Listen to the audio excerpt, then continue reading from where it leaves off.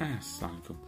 Day two, I'll make it quick because yes, I do look tired and I feel really tired and quite uh, quite shattered. Um, anyway, got up this morning. It was uh, very pleasant.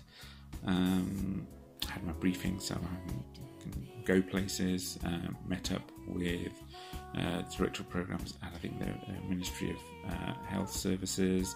Um, lots of people at a conference. I also met with the head of the WHO uh, program in Pakistan.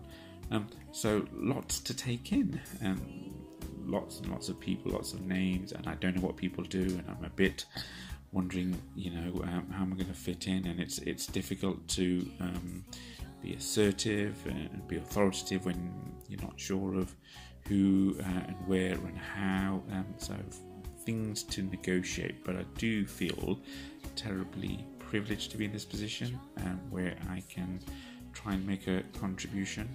Um, but before I get to that, I need to get rid of the headache, I need to get some rest, I need to tidy up, I need to unpack, still haven't got my room yet, um, and uh, need to be up early tomorrow, full day again.